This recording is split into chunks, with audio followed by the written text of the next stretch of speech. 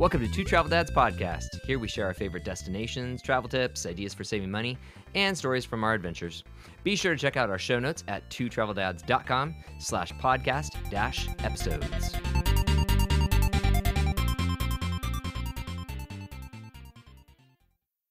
Hey everyone, this is Rob with Two Travel Dads Podcast. And today we got kind of a different sort of podcast episode going on. We've got a couple of wine folks with us from the Santa Maria Valley in California.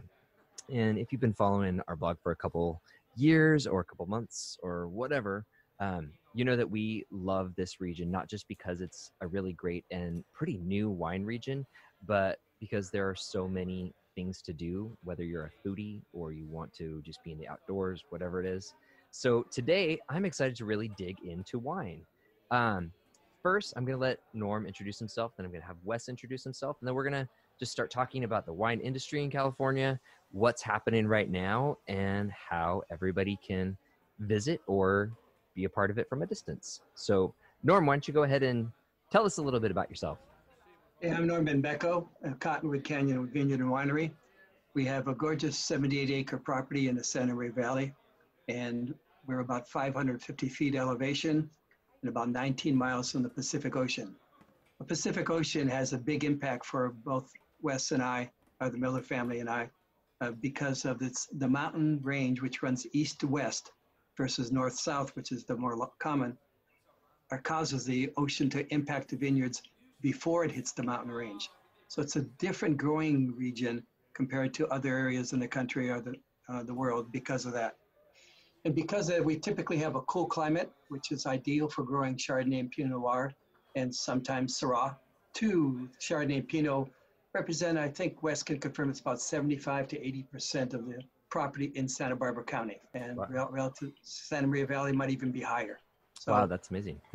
yeah and it's uh, it's a great place to grow, minus the cost to grow because of, because of the cool climate and the natural humidity that prevails almost all the time. We have to manage our vineyard daily because the moisture created by the ocean has a negative impact on the, on the grapes as well as a positive impact. But the negative impact causes us the financial uh, hardship and the constant spraying to prevent the mildew from developing and destroying the, the clusters. Yeah, and, and that's a good and a bad. I mean, I, I think I wouldn't change if I could plant this any place. I still would stay here because of that. So the costs are one issue, um, but that's just part of the game. And I like the quality and the style of grapes, the wine we make. We don't do anything to the grapes. We just process them. Don't don't add anything, other than towards the end we add sulfur as an antioxidant to prevent it from having a problem in the bottle. So other than that, it's all naturally done. Uh, we don't manage our vineyard the same way because I, I'm just not a fan. And Wes technically is really much more equipped to talk about that than I am. So I'd be curious to see his input. But anyway, this, we bought the property in 1988. Uh, it was all Chardonnay, and there were about 500 vines in an acre. And we now have from 1,600 to 4,400 vines per acre. So we replanted, and it's almost time to replant again. So we're at the uh, life of the vine, so which is about 30 years from a productivity quality standpoint. So that's it. We sell only direct. We sell through our wine club and through our tasting room. Uh, recently, we put in a 650 seat amphitheater and we started doing weddings. This was our first year, and guess what happened? COVID 19. Yeah. So now we have 2021 sold out, and people are booking out for 2022. And we do no advertising for anything, it's all word of mouth. Wow, that's awesome. I, I love that. I know coming from Washington, that's a huge part of wine country are the amazing events, both private events and public events that everybody can do. So that's really cool that you guys are able to go into the future with that. So sweet, cool. Thank you for the intro, Norm. And then, um, Wes, if you could kind of share the same same bit, your what you love about the different types of grapes that you get to work with, all that stuff, whatever whatever floats your boat. Share away. Thank you, and uh, greetings from the gorgeous Santa Maria Valley on one of our few summer days. Uh, we're going to have less than six days this year uh, over the high 80s, early 90s. We're expecting the hottest day of the year this year in the Santa Maria Valley, around 90, 93 degrees. That's really going to get the uh, sugar moving in these grapes. So most of the grapes in the Santa Maria Valley have been already picked uh, by October 1st. Probably still see a little bit of Chardonnay hanging out up there, maybe some Syrah. But we've had a gorgeous year. And the thing that makes this region so special is we generally have 350 days out of the year between 65 and 85 degrees as a high. So if you like to be outside, if you like to hike, if you like to golf, if you like to uh, experience the manifest beauty of, of everything that California has to offer, uh, halfway between sort of LA and San Francisco, halfway between Santa Barbara and San Luis Obispo is exactly where we are on a cool little escarpment uh, that really doesn't, as Norm said, um, it really doesn't have many geological or geographical um, stopping points between the Pacific Ocean and our vineyards. So I like to say on a normal summer day, we see the fog from the Pacific, we see the sun from the, the desert east of us, and the fog and the sun fight right over our head, trying to decide, uh, you know, is the ocean going to win? Is the summer going to win? And that movement back and forth keeps us so cool that our average high temperature in August is 74 degrees. So there's no such thing as air conditioning here. We get it from the Pacific Ocean, and then in September and October we get these little heat, uh, uh, these little kind of heat spikes to punctuate the vintage. So our vintages are always long, cool, windy, foggy, punctuated in September and October by these heat spikes, which really dictate the quality and expressiveness of these vintages. And we're very lucky to say that uh, this year we were not impacted here in Santa Maria and on the Central Coast uh, by fires and smoke. So we're extraordinarily lucky that uh, the vintage looks like it's going to be really extraordinary down here. So I've been here since 1994, and I'm starting to get my head wrapped around what it really takes uh, to make uh, to make wine in the Santa Barbara County. And I've also worked on a number of uh, different American viticultural areas and the creation of those. Four different AVAs in Santa Barbara County that I helped write and and do. So I have, um, I'd say, you know, besides being a winemaker and a vineyard manager, I'm I'm pretty aware of, of the soils, the climate, and and how those things really impact uh, the quality of the wines that come out of Santa Barbara County and the Central Coast. That's awesome. So you guys both have talked about you know the AVA and the weather. It's fascinating because when I have talked with winemakers in the past, um, you know, being up in Washington, they are all about you know the terroir and talking about the soil, soil, soil, and what makes Washington wine so spectacular. You guys went right for the weather being that big element. Do, do you think that you guys also are impacted by, of course, you're going to be impacted by the soil, but do you think that that um, kind of volcanic rock that is just north of you guys that kind of is underlying everywhere, do you feel like that has a huge impact on the quality of grapes you're growing as well? Or do you really attest it all to that weather? Well, I'll start, and then Norm can. Uh, Norm's been doing this longer than I have. Okay. Um, we're, we're basically growing grapes on uh, a Pleistocene and a Miocene seabed. Um, no longer than 20 million years ago, we're probably all underwater here. And then basically, uh, when the Juan de Fuca uh, tectonic plate, the Pacific plate, and the North American plate made this incredible, incredibly violent um, sort of tectonic action that, that, caused this area of, of California to rise uh, to be dry land. We've only had 20 million years for that uh, sandy seabed to develop into a soil series. So our soil series are basically sand, some more sand, and then a little bit more sand. We don't have snow here, but I have actually found out that about once every three months, I need to actually brush the sand coming off of the Guadalupe Dunes off of my driveway. We are having a constant influx of sand from the beach, and that just keeps our vineyards uh, very sandy. And how sandy soil impacts the grapes is the vines don't uh, have no opportunity to be very vigorous because they have no no uh, a lot of not a lot of nutrients and a lot of, not a lot of clay in the soil which exchange nutrients in grapevines. So with these sandy seabed soils, our vines are small, our clusters are small, our berries are small, and the amount of juice in each berry is minimized. And what that does is produce wines of great character, great flavor, and as you can see in the glass uh, from the 2018 uh, J. Wilkes Pinot Noir, uh, can produce some pretty intense color and saturation, uh, effusiveness, deliciousness, and intensity. So we grow elegant wines with intense flavors. Yeah. Yeah. And I can say that this Pinot is really beautiful. It's a beautiful ruby color against our blue sky here in Florida. So it's um yeah, I'm loving it. and then Norm, did you have something to say about the um the actual soil and everything too and how that impacts your winemaking? Well, yes, let's go back to the wine you're drinking. Yeah. Uh, 2010, we had an unusual climate change. We had a massive amount of heat for, I, I can't remember the amount of time, but at least 30 days, maybe 45 days. And Sharon's block actually got to 110 degrees. Whoa. And consequently, our hang time, which is what we really strive for in, in this part of the world, in the uh, AVA, is the long hang time gives us a, a relationship between the juice and the skins that is really outstanding and gives us a retention of a lot of high natural acidity, which ages, allows the wine to age a long time, which is what our trademark lo- logo is distinctively different age-worthy wines. And it's not something that I do uh, in the winemaking process because I really don't do anything. I let the grapes go do their own thing, and I and I got a wine, a Syrah we call Patience, which I aged 40 months in oak, and I only opened the barrel once.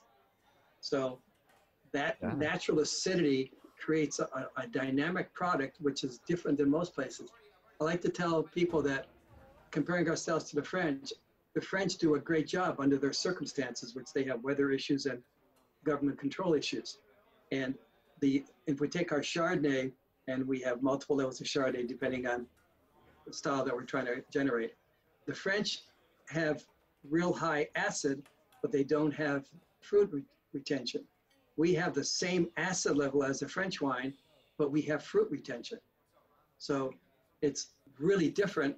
And I, I love to s- put our wines side by side against some of the great chateaus and, and, Chard, and the Chardonnay block of uh, France and to see the difference. Some styles are similar, but again, our dominance of, of the fruit makes us distinctively different. That's awesome. That's a great way to describe that. so moving on from the actual growing of the grapes and your guys' thought process about what, what your area builds into that, how do you guys like for customers or for wine lovers to really enjoy and experience your wines? Do you I, I know that um I heard wine club thrown out there and pre-order, things like that. Do you facilitate a um a pretty flexible wine tasting experience at each of your wineries? Is it something where people can show up on a Tuesday morning at 9 a.m. and do a wine tasting? Or do you guys really, especially with COVID, try to pace out um, how many visitors you're able to allow on property? How are you running things right now? let, let me respond because uh, here's an example that whoever they are, I don't know who they are making these decisions, said that now in our case we were pouring five or six wines at a tasting.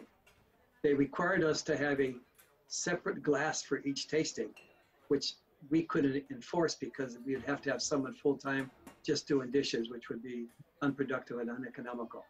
So we changed our format as because of the COVID 19, which is now, as you can understand, is a greatly different format like restaurants in Florida. Now we have a different problem here because our winter time is coming and drinking and tasting outside is not going to be really feasible because the temperature is going to drop so much. yeah, this is gonna be short lived. It's going to be short lived. Yeah, they won't be out there too long. And we can't start a fire for obvious reasons. So what we're doing is we now see in the short term, instead of doing a tasting because of the restrictions we have, uh, and we have tons of space, we could easily probably hold 150 people here and be complying with all the requirements as far as social distancing. Mhm. Because of our space, we have multiple um, patios. Uh, we have um, we have a cave area which is about 70 yards down below us, and out that outside there we have seating for about 300 people in normal conditions. So subnormal we could probably hold 100. So um, that's been a big change. So now we say you come in, you can have a you can buy a glass of wine, you can buy a bottle, and I think at this stage I am going to stay with that format unless I see that's re- getting some negative response from customers. But we customers seem to prefer that, so we're going to stay with that direction for a while. What happens under the new rules? I just saw the we call the different tier levels here in Santa Barbara. The new rules for tastings at restaurants and et cetera and gyms, and they had no provision for wineries.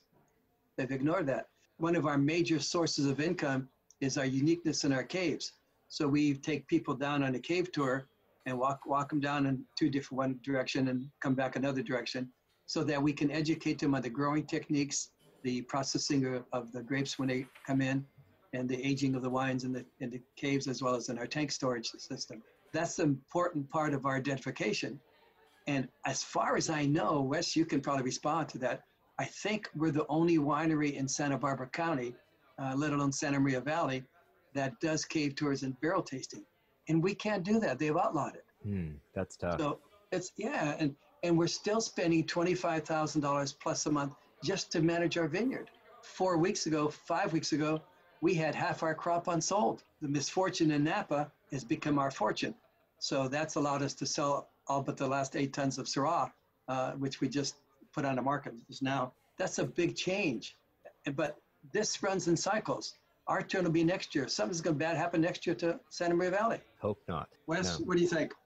Well, respect respect for Norm, the way he makes wine, which is incredibly uh, rare in this world, even in Europe. Um, in the sense that if you look at wine sales, 85% of wines purchased in the United States are consumed within 48 hours.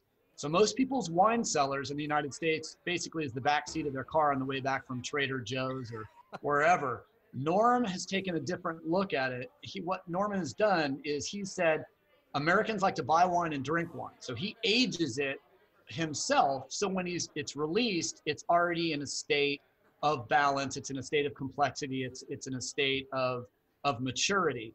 Most wines, um, and this is true of the Miller Family Wine Company, we have to play the broad market. He's going all 100% direct. We're going 95% broad market, which means we're selling to restaurants, we're selling to supermarkets, we're selling to wine shops, we're selling to all the places where wine is drunk on premise and off premise.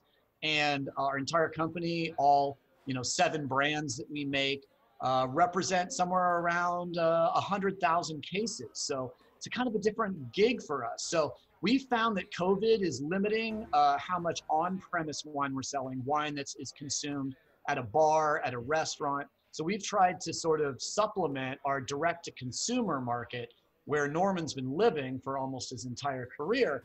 So we are increasing our wine club. We invented the Miller Family Wine Club, which sends three bottles of wine anywhere in the country where it's legal for 40 under $40 a month. Three bottles this month are all 90 plus scoring bottles of wine. So great value. So we're looking at that uh, direct to consumer or DTC channel. Um, I hate the word pivot, but that's obviously something we've had to do during COVID. It's the Um, word of 2020. It, it kind of is. And we uh, have a tasting room down in downtown Santa Barbara, just just literally steps off the beach at 35 State Street, Suite B in Santa Barbara. Our tasting room has been absolutely because we've moved everything outside, and Santa Barbara has one of the greatest climates year round. We will not have any problem having people outside tasting wine unless it's raining and we still have umbrellas, so that will probably work out. But as we're seeing um, hopefully more people wearing masks, more people trusting science, and more people staying healthy, we're, we are seeing a change in Santa Barbara's laws where we probably will be able to start moving people indoors at about 25% capacity, uh, which should be fine because that way we can do a little music, have a little, you know, uh, have a little food and all these wonderful things. But really for us, it's been all about how do we get wine to the people that need it? You know, how do we make sure that so we did some great specials early in COVID and increased our direct to consumer sales by over 1,000% Oh, between wow. April and May this year. So it's a new environment. We're adapting as quickly as we possibly can. We are focusing ed- on education, on media like this wonderful podcast, uh, doing uh, wine shows weekly, uh, and really trying to get people uh, not only in their in their uh, quarantine and their less than uh, you know normal circumstances to learn about wine, to understand our brand, and as we emerge from this, hopefully get people to recognize that the Miller Family Wine Company kept them uh, educated and kept them flush with wine in a very difficult time in their lives. Now, so I know that Norm was mentioning that they've had to switch it up to doing just like the just a glass, just a bottle. It sounds like you're still doing full scale wine tastings just outside. Is that correct? Yes. So um, we've been we've been basically doing uh, full wine tasting uh, down in in Santa Barbara, full flights. There was a law for a while that if we wanted to stay open, we had to serve food uh, with all wine. So we hired a chef uh, to do charcuterie um, and uh, sandwiches and paninis and that kind of stuff. Mm-hmm. So we've kind of we were we had to sort of be almost a restaurant wine bar for a little while. And now as things are starting to calm down, I don't think that uh, people have to order food to get wine, but I've always felt that having food with wine just fills in the opportunity. I don't think wine can be understood without time, love, and food. Uh, you take either time, love, or food out of it, and you will not be able to understand a wine for what it really has to offer. Every wine deserves an hour, uh, delicious things, and people in love. Uh, that's that's where wine can really strut its stuff. And I, I agree with Wes. In fact, in most of our back labels, I put a food pairing suggestion because of that. Yeah. And speaking of Santa Maria Valley, we're very lucky to have the Allen Hancock College, where I've been teaching food and wine pairing for the last seven years.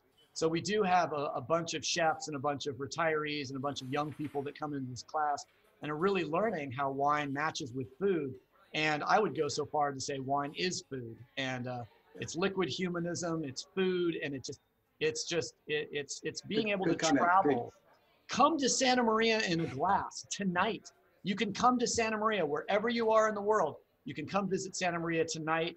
Just the the journey is going to happen in your mouth. The journey is going to happen in your nose. The journey is going to happen in your brain. But if you pay attention to a glass of Santa Maria wine, you can smell the ocean. You can yep. feel that sandy soil. It is a representation of a time and a place. Wine is truly a quantum experience.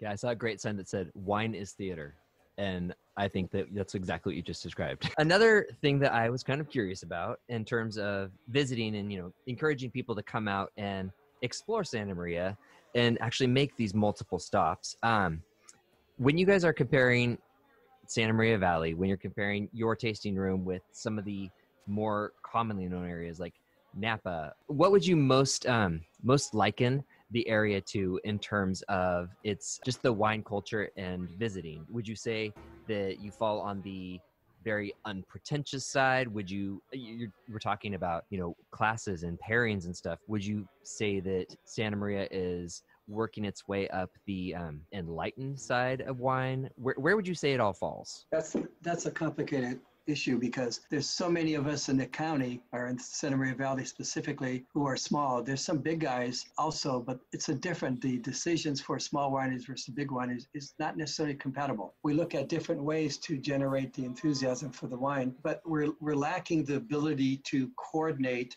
and to pull our resources to make us a more national phenomenon, which we deserve. We don't have the reputation of the Napas, but we're just as good quality for the Chardonnay and Pinot Noirs probably better than most of Napa. So it's a different growing area, and we need to make the world know about it. And that's where we're falling down as, a, as an association or group of people. We're trying to find ways to improve that, but that's been because of COVID 19 put in a uh, abatement for a while. So, yeah. Wes, what, I don't know, Wes, what's your feeling? Well, I think Santa Maria Valley has um, some of the some of the most positive elements uh, of our environment for growing grapes. What you would call terroir, the environment, the weather, the soil is just perfect for the production of cool climate, specifically Burgundian varietals like Chardonnay and Pinot Noir. Another great benefit we have in Santa Maria Valley is we are a bona fide agricultural community. We have a built-in agricultural community that gives us uh, sort of uh, workers, expertise, managers, people coming out of Cal Poly, people coming out of Allen Hancock College, all of these wonderful colleges that surround us. We're also sort of a small pond. So the people that want, don't want to go to Napa Sonoma because it's already saturated, good luck becoming a famous winemaker in Napa Sonoma without $25 million under your belt. But you can graduate from UC Davis, come down to Santa Barbara County, get yourself a assistant winemaker job and end up launching your own label in 10 years and making yourself, you know, a, a living. So it's a small pond. It is developing um, it is underappreciated for sure. Areas like Santa Rita Hills, areas like Ballard Canyon, some of the areas down a little bit south of us are getting a lot of attention right now. Santa Maria Valley was the third AVA established in the United States and the second AVA established in, in California in 1981 after, um, after Napa Valley in California. So we're the third oldest American uh, viticultural area Uh, and I think part of it is we've been growing such good Chardonnay and Pinot Noir, and through Byron and Cambria and some of these older, uh, uh, larger properties have really showed the world how sexy these wines can be. But then, you know, uh, other areas come in, Sonoma Coast, uh, Santa Rita Hills, stuff like that. They become like the cool new kid on the block. But as people recognize where the greatest value of balanced, delicious, elegant, almost European styled wines are coming from in California, I don't think any region can touch the quality, the ageability, the deliciousness, the balance of, of what we do here in the Santa Maria Valley. Um, plenty of hotels, plenty of tasting rooms to taste. You're in a central location where you can go to Arroyo Grande, Edna Valley, Santa Rita Hills, uh, Santa Ynez Valley, you know, Solvang. All these areas are within a half an hour of Santa Maria Valley. So Santa Maria Valley, I think, and the, the chamber is doing a good job. And thank you uh, to the chamber for helping us with this program. It's really important to understand that Santa Maria Valley is wine country and it is an affordable way and a place to stay and to use as a hub to explore all the wonderful regions of Santa Barbara County. Yeah. It might not be as curated as Napa, but it's also so much so less expensive. You're not going to be asked for 50 or 100 dollars to taste someone's wines by a woman w- with a cravat, you know, punching cards as you go in. And if you join one of our wine clubs, congratulations. Now you are someone we will never say no to. We will offer you a level of hospitality and a level of inclusiveness within our industry that will be surprising and far more valuable than your price of admission. Yeah. And I think that something with with 2020 and I, I think 2021 being so restrictive in terms of travel, I can see a place like Santa Maria Valley really growing for that drive to market of people who normally might plan on like a Napa weekend to go wine tasting and stuff from LA or San Diego, they can so easily drive themselves quickly up to you guys. And I think that's, I would love to project out there that that's going to be the big theme of the rest of the year and into 2021 is that drive to wine tasting weekend getaway is going to find its new home with you guys. Everyone, including the people in Horse Heaven Hills, including the people yeah. all the way through the beautiful places in the Pacific Northwest and the, and the deserts of Washington that grow such beautiful wine. Everyone should be supporting their local wineries. And we want to be LA's wine country. If you want uh, an area to go to and you live in LA, say you live in Pasadena and it's 110 degrees in, in July and August, it's going to be 75 degrees up here. Come on up, LA. We're ready to really, really take care of you. And we are your wine country and anywhere. I don't care if you come from Iowa, from Maine, from Florida, you know, from Oregon. The difference between Oregon and California, we love Oregon people down here. Californians aren't treated as well up in Oregon because most of them are self loathing ex Californians. let's just get down to it. Everyone is welcome here please come and uh, experience the inclusiveness, uh, the love we have for every kind of people. Um, every kind, you know, show up, enjoy our wines. I guarantee you'll take a couple cases home because the wines are a quarter to a half of uh, half the price as Napa, and we're producing some of the greatest wines in the world for the money. And I think Norman and I would both agree. There's nothing better than getting home after a trip to Santa Barbara County and bringing back the flavor of the place to share with your friends in those wonderful 750 milliliter glass bottles. And just remember, Rob, three of the 10 largest wine markets in the country are San Diego, Los Angeles, and San Francisco. And you just so, happen to be conveniently located between them. Yes, we're right between them. It's easy drive, and there's lots of hotels. And those who people who play golf and drink wine, we have a unusual heavy amount of very nice golf courses which are open year round. That's awesome. That's a good call out too. Is the combo of recreation and wine tasting? It's a perfect pairing. We're starting to kind of run out of some time, but I wanted to hit on harvest with you guys because I know I know a lot of a lot of California growers are facing fires either directly in their vineyards or very close by, which I'm not sure how much smoke impacts, you know, the actual fruit, even if it's not burned. Um, but that was something that I wanted to just ask as like a novice question and then also hear about what's going on with your guys' harvest and how visitors can participate in that i know i love being able to where we just moved from on bainbridge island there was a small vineyard there that would invite people out for picking and for trimming canes and stuff like that. So i'm kind of curious how you guys also offer that out to the public. I'll, I'll tell you a little story. We did a couple years ago we did a we let consumers come in and pick some grapes off of a certain block. We had a luncheon for them And of course, we had wine at lunch. And because of the, we had so much food, and because of the thought process, we invited the actual normal workers who were picking grapes all, all night long and during the day, et cetera, et cetera, to come and have lunch with us. When they walked in to have lunch, that is the Hispanic uh, picking crew, all who were having lunch and had picked for the first time stood up and clapped because they were given the recognition of this is not an easy job to pick. They were very grateful to see that these people were sharing their skills and their labor and their time to pick the grapes to our standards that Wes and I hold for making uh, uh, these good wines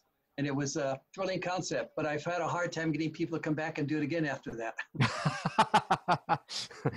yeah, I mean, I, have done it once, and yeah, it's it's a bit backbreaking. But. As I like, yes, as I like to tell uh, my my previous volunteers at my previous uh, career at Clos Pepe Vineyards, um, the uh, romance of picking grapes usually lasts for 10 or 15 minutes and you'll also feel intensely um, under uh, under qualified when you see how fast these uh, professional grape pickers are going to be moving past you and and just shredding how fast you can go. And if, if you think those guys are good, you should see some of these guys that use the little razor hooks up in Napa that can pick three tons in a night. Here's the deal with harvest right now, without you know involving myself in some type of viticultural Schadenfreude.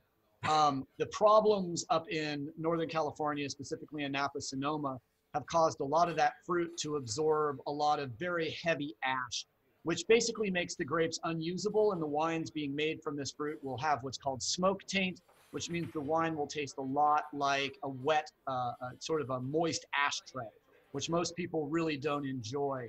So the nice Norm was talking about, he had a lot of fruit uh, needing to be sold. And what we're seeing is a sometimes even a doubling or even a higher amount of uh, uh, increase in price of grapes on the spot market, grapes in Paso, grapes in Santa Maria that, or Santa Barbara that might not have been picked this year because of COVID, that are now being uh, heavily sought after in the bulk market. If you have wine in a tank that needs to be sold, the price of bulk wine has absolutely skyrocketed since this. So, first of all, thank you to Cal Fire for what they do. They're the best at the world at what they're doing. Thank goodness they've saved so many properties, and I feel horrible for the people that have had losses, but uh, California, uh, we're the sixth largest economy in the world. If we were our own country, we will be okay.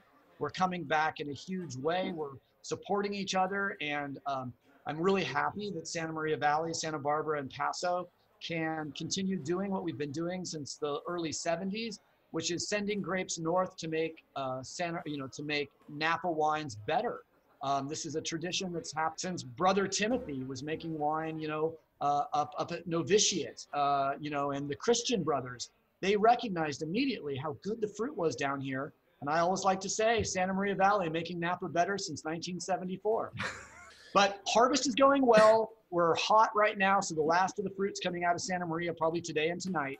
And we're seeing Paso is going to be up in the easily up in the hundreds today. So we're going to see a lot of that Cabernet and a lot of the Nebbiolo and a lot of the Zinfandel coming out in the next few weeks. So I would say easily by mid to uh, easily by you know uh, not only will all the fruit be in probably by Halloween, a lot of us will probably be barreled down and done with fermentations around that too, and there will be some winemaking sort of uh, sort of languishing into uh, probably November. But by the first or second week of November, I would say most wineries in Santa Barbara County and Paso Robles will be what we like to say buttoned up and barreled down, which means it's it's time for a tropical vacation and uh, maybe a cocktail. Come to Florida. Happily. So right now, clearly the Santa Maria Valley is open and ready for people to come and visit, have some wine country experiences. What would you recommend? Should they just plan a weekend and go, or um, what would you say while things are still kind of restricted? You can make it here. Santa Maria is a wonderful place, as I uh, as I said, to find a hotel as a central point for going off and exploring the Central Coast. The weather is perfect. If you live in an area where it's not an average of 74 degrees in August as a high temperature, you might imagine what a wonderful place this can be in summer. Uh, get yourself a hotel, make some appointments. You can uh, obviously go to millerfamilywines.com, jwilkes.com. You can go to the millerfamilywineclub.com, join our little monthly subscription wine club. 40 bucks a month. You're going to get some of the best wines you can ever imagine great, great value. And if you're going to come out to Santa Maria Valley, if you're going to come out to Santa Barbara County, even if you're going to go someplace up in Washington or Oregon, um, I would love to help curate uh, a wine adventure for you. And you can reach out to me at that same, uh, at that, just go to any of the websites that I mentioned and you can find my email uh, right there. And how lucky we would be. Napa Sonoma, sometimes you get a sense that you're just one more visitor. Trust me, when you come to Santa Barbara County wine country, you're going to really understand that we are extremely excited that you have chosen to come to uh, a wine region that is as old as uh, as uh, the AVAs in Napa, but also really really appreciates each and every customer and will give you some really uh, amazing attention and some of the greatest wines you've ever tasted for a very very reasonable price. On a, on a standpoint of Cottonwood Canyon wines, that so if you want to get all Pinot in your club shipments, you get all Pinot. You want all Chardonnay, get all Chardonnay. You want to mix, you can mix. We have a unique club called the Connoisseur Club, which we age, which the wines are 10 years or older minimum. And that club is very unusual in, in any place, but it's the nature of our wine that it just ages beautifully. Our limitation tends to be the corks. So we've had a lot of cork failures over time, uh, but we've alleviated that by switching to screw caps. And so if you want a wine that's aged, uh, we can provide that. You want a wine you can drink right now, we have that option available. So a majority of our customers have wine cellars. And when you come and visit Cottonwood, we teach you not only about the wine, food, and food pairing, we teach you about how to hold the glass, how, how to sniff the wine so that you get the maximum flavor out of it.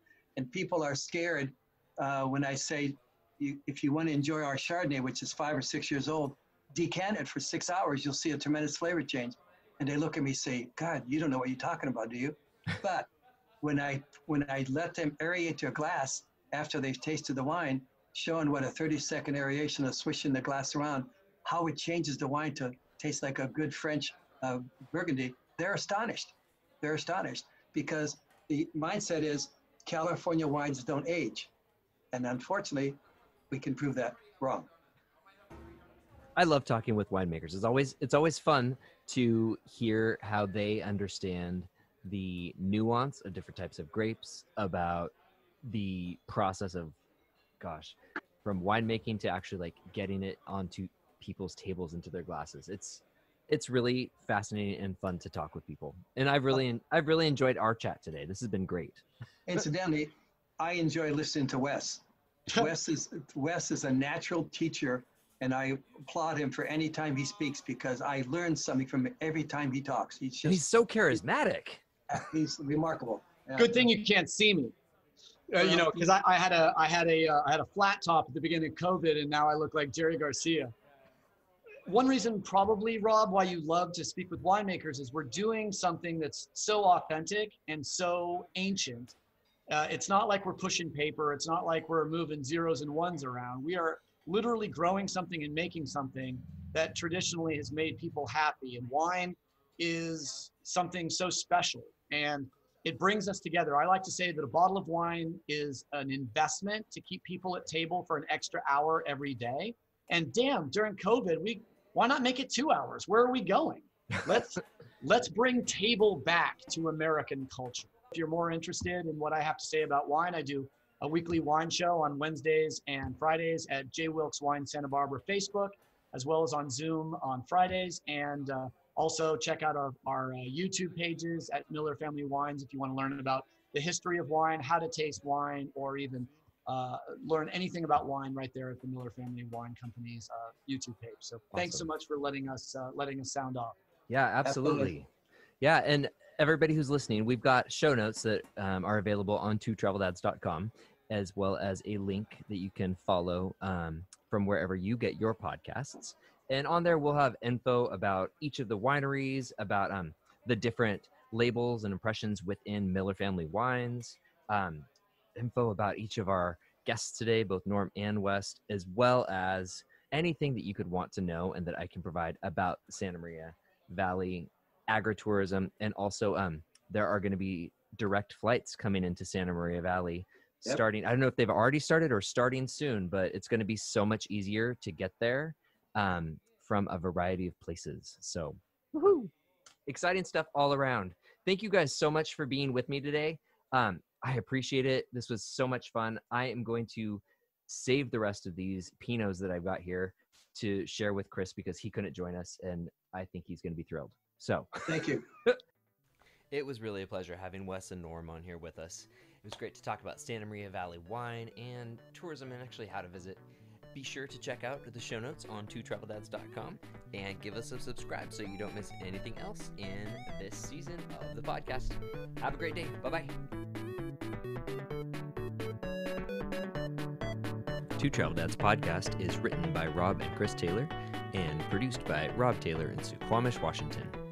If you would like to be on Two Travel Dads podcast or sponsor it, please visit us at twotraveldads.com slash work.